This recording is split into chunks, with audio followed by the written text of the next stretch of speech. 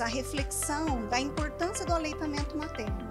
Nos faz refletir com elas qual é a importância né, delas amamentarem. É um projeto do ponto de vista aqui da Pró-Reitoria de Extensão que é muito querido por nós, né? E nós temos o maior orgulho que esse projeto esteja hoje aqui comemorando essa data.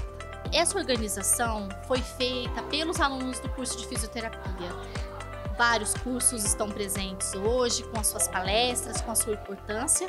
Então, nós estamos muito felizes com o evento, com esse projeto de extensão que traz para os alunos muito aprendizado, né, para a Unify um, uma realização de uma responsabilidade social muito grande, muito importante.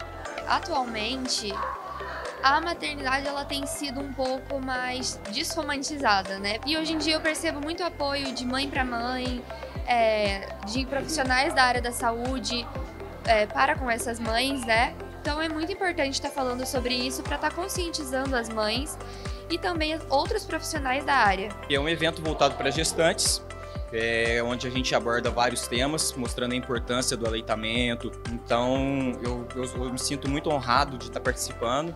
É, agradeço a toda a organização, a instituição pela oportunidade. E eu estou gostando muito do evento, porque é muito importante. Informação é tudo hoje, né? E a amamentação, como diz, é a principal proteção que uma mãe pode dar para um bebê nos primeiros dias de vida.